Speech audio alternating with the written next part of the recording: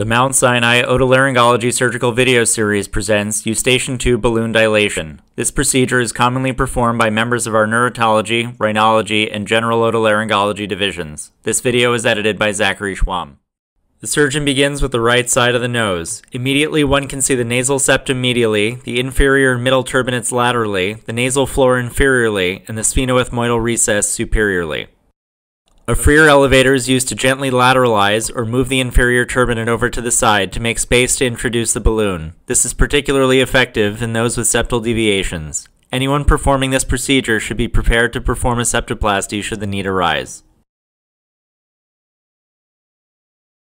A posterior view of the nose shows the back of the inferior turbinates, the septum, choana, nasal floor, and soft palate. The eustachian tube is around the corner. The camera is then pulled back slightly to follow the eustachian tube balloon into the nose. The eustachian tube is identified in the lateral aspect of the nasopharynx. The cartilaginous segment has an anterior and posterior pillar, behind which is the fossa of Rosenmuller, a common site for nasopharyngeal carcinoma to develop.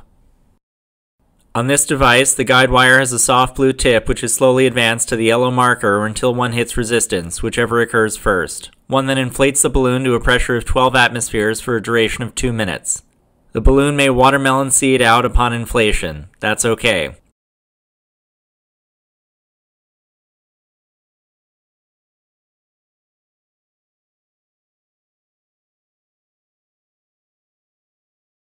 The balloon is deflated and reinserted a second time and again inflated for two minutes.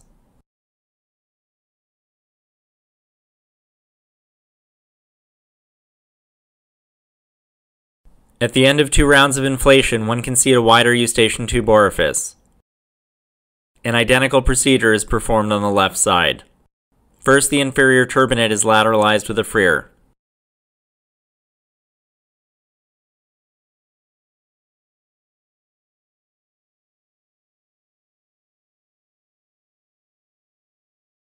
The balloon is introduced into the eustachian tube, the guide wire is inserted to the yellow marker or to a point of resistance, and inflated to 12 atmospheres for 2 minutes. This procedure is repeated twice.